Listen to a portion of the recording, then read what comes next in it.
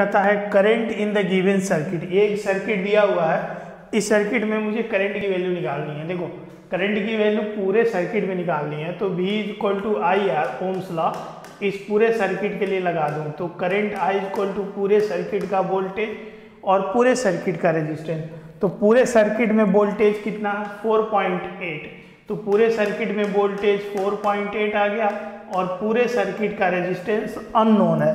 तो चलो इस रेजिस्टेंस को हम लोग कैलकुलेट करते हैं कि ये रेजिस्टेंस कितना है। तो इस रेजिस्टेंस की कैलकुलेशन के लिए आप देख रहे हो ये वाला रेजिस्टेंस और ये वाला रेजिस्टेंस बोथ आर सीरीज़ ठीक है? मतलब इस, इसको मैं, इस सर्किट को मैं ऐसे बना सकता हूँ। ये ऐसे और ये आपस में ऐसे ये सारे सीरीज़ में हैं सिक्स के सिक्स के और थ्री के।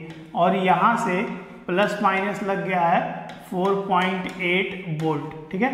तो ये अगर दोनों सीरीज़ में है तो सिक्स और सिक्स कितना हो गया? ट्वेल्व। तो ये अब सर्किट कुछ हम, हमें ऐसे दिखने लगेगी, ठीक है? तो ये आ जाएगा ट्वेल्व ओम, और ये आ जाएगा थ्री ओम, और यहाँ से पहले से प्लस माइनस वी वोल्ट की बैटरी कनेक्टेड है। 4.8 वोल्ट की जो करंट आई सेंड कर रही है। आसान क्वेश्चन है।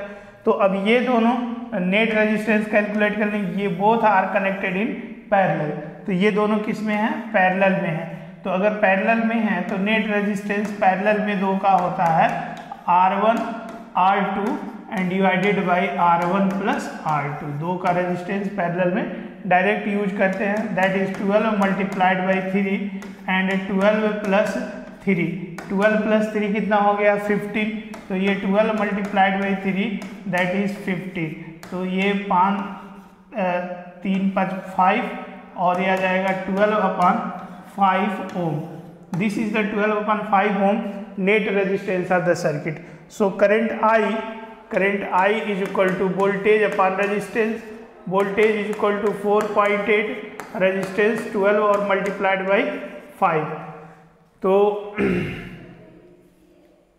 बारह फोर पॉइंट एट पाँच चौक बीस मतलब टू पॉइंट इतना एम्पियर करंट फ्लो होगा टू एम्पियर करंट फ्लो होगा।